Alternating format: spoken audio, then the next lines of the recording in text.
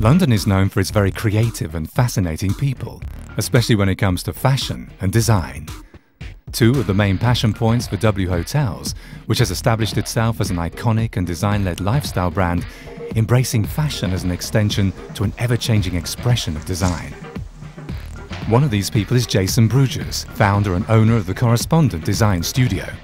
We create um, architectural art installations um, we get commissioned to create both temporary and permanent interventions all around the world for buildings, landscapes, um, transport infrastructure, temporary spectacles. Another fascinating project of the studio is the so-called Mimosa, which has been exhibited in Milan and London.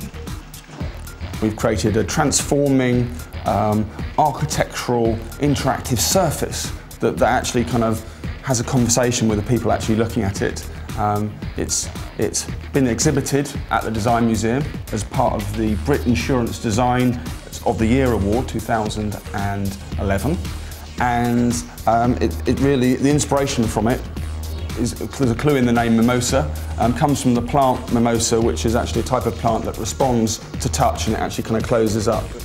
The studio also created a public-facing artwork that is integrated into the entire facade of the W Hotel at Leicester Square in London.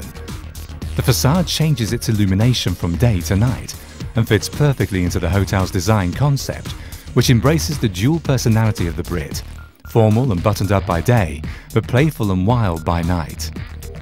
Kokon To Zai, which means East meets West in Japanese, is a mix of designer clothes and interior design pieces, combined in their two stores in London, one in Soho and the other in Notting Hill.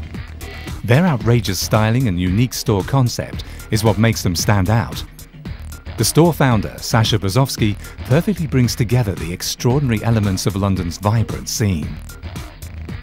London is, as a city, it's a, it's a very uh, international and uh, cosmopolitan place where all the um, races and countries meet together and, and make this absolutely fascinating city. And each area has its own vibe and its own movement, I guess.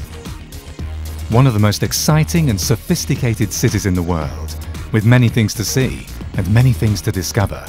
Let yourself be inspired by London.